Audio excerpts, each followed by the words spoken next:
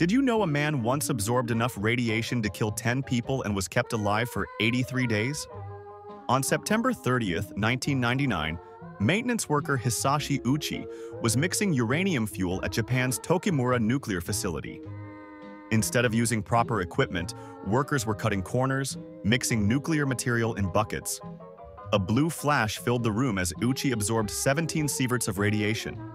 His chromosomes were completely destroyed within hours, for nearly three months, doctors kept him alive as his body broke down, cell by cell. His skin began peeling off in sheets.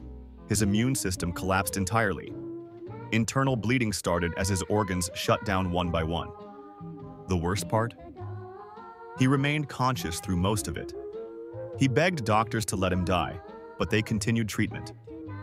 His case became a nightmare study of radiation poisoning.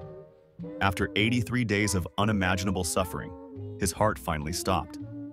His death changed radiation accident protocols worldwide. Sometimes survival is the cruelest outcome of all.